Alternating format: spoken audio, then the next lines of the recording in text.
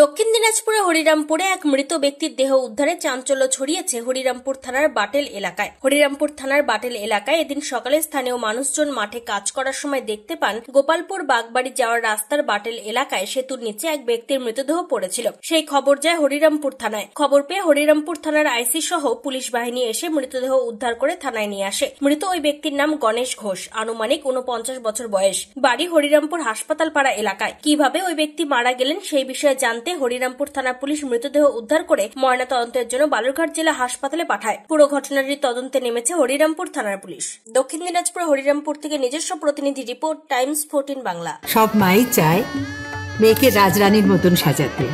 সাজিয়ে তুলতে চায় সোনার গয়নায়। ওরিয়েন্ট জুয়েলার্স, সোনা যা সর্বক্ষণের।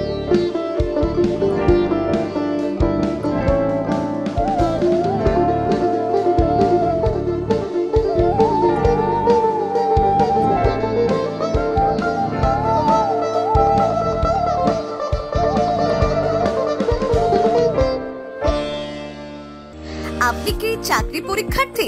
চাকরি পরীক্ষার বই খুঁজছেন?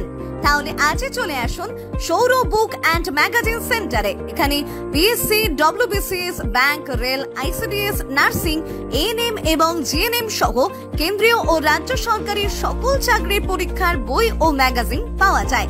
আমাদের ঠিকানা খড়িমোড় মোহনবাটি, রায়গঞ্জ। বিস্তারিত জানতে যোগাযোগ করুন nine double zero two nine zero four zero nine zero অথবা nine four three four three four seven zero one six.